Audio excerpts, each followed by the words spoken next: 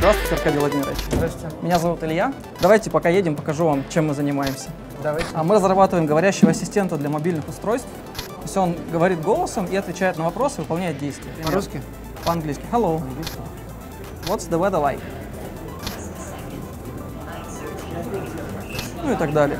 А чем это отличается от того, что есть э, У Apple, да? Да, у Apple, да. Мы поддерживаем немного разные сервисы, но в принципе мы поддерживаем еще много очень платформ. То есть сейчас ты на андроиде. Apple нам очень помог э, продвижением, потому что люди начали искать аналоги, например, для андроида. И у нас за последние два месяца около 700 тысяч загрузок. Это лучше, чем у них?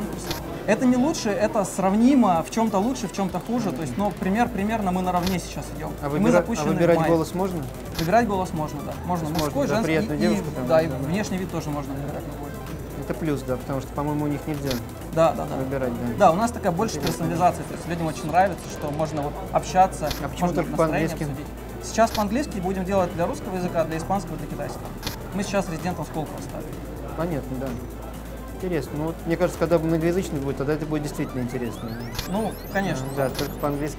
Скорее повторение пройденного, а не... Нет, для других платформ просто все остальные тоже хотят это. Apple не будет выпускать для других платформ. Понятно. И в том числе мы выпустим еще для всех айфонов, которые ниже по версии, чем 4S. Соответственно, все владельцы айфонов текущие тоже смогут получить такую функциональность. Apple этого тоже не будет делать. А с iPad то же самое можно сделать? Да, да, конечно, с iPad, с любыми планшетами. Чтобы еще неожиданно он что-то спрашивал. э, Да, да, у нас будет пользователя, wake up. да. Можно, во-первых, с выключенным телефоном сказать, там, hey, assistant, он проснется, вот, и он, да, он сам может спрашивать, или, например, проверяет, например, вы на встрече, у вас там через 15 минут какая-то другая встреча, он Не может предложить- вы, да, Да, там, там, он да. может предложить позвонить кому-то, там, организовать поездку или вот что-то такое. Понятно. Примерно так. Интересно. Да. Ладно. Мне понравилось. Отлично. Всё, спасибо большое. Спасибо. Выходить надо, да? Да. Или еще не доехали? А вот доехали, да. До Удачи. Да. Все. Я тоже доехал.